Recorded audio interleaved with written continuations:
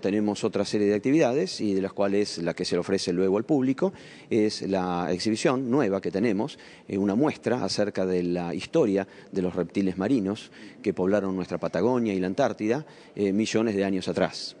Lo que hemos eh, em, eh, pensado era en justamente hacer esta exhibición eh, y mm, ilustrar a los visitantes con distintos grupos de reptiles, monstruos marinos que poblaron hace 150 millones de años atrás Neuquén, Mendoza y más recientemente, unos 70 millones de años atrás, el sur patagónico y también la Antártida.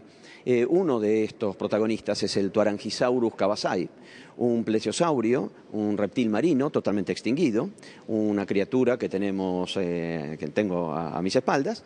Eh, este Tuarangisaurus medía alrededor de 3 metros de largo, era un animal que se alimentaba de peces, como lo revelan los dientes puntiagudos eh, que tenía, muy largos. era un animal que se movía en el medio acuático con el uso de sus paletas, las aletas, que no eran otra cosa que patas transformadas en remos que les permitían a estos animales moverse con libertad en el mar. Eh, es como si fuera un equivalente ecológico de los actuales eh, lobos marinos de las costas argentinas. Nuestro país, por suerte, es un país sumamente rico en fósiles, incluso eh, hablando de la propia capital federal. Este, todo nuestro país está lleno de fósiles, como si fueran páginas de un libro maravilloso que es de la historia de la vida en la Tierra y obviamente la que transcurrió aquí, en este sector de Sudamérica.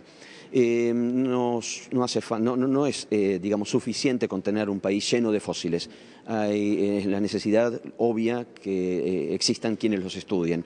Y por suerte nuestro país cuenta con una larga historia que se remonta a Francisco Javier Muñiz, a Florentino Ameguino, quienes desde fines del siglo XIX hicieron estudios maravillosos y descubrimientos extraordinarios, que son en gran parte los que se eh, exponen aquí en este Museo Argentino de Ciencias Naturales. Eh, nuestro país cuenta hoy con una gran cantidad de prestigiosos investigadores y además, y sumamente importante, con un Ministerio de Ciencia que apoya la actividad de, los científicos en general, el CONICET, Consejo Nacional de Promoción Científica y Técnica, que, nos paga el sueldo, que nos permite investigar, que nos permite que el país sea conocido no solamente por el fútbol y por otras manifestaciones, sino también por la ciencia. En este museo estamos haciendo desde hace varios años trabajos, investigaciones, descubrimientos, y hemos sumado desde mm, mediados del año pasado, cuando se cumplieron los 200 años del museo, un nuevo dinosaurio carnívoro pequeño que lo llamamos Bicentenaria Argentina en alusión al bicentenario de nuestro país y también del museo.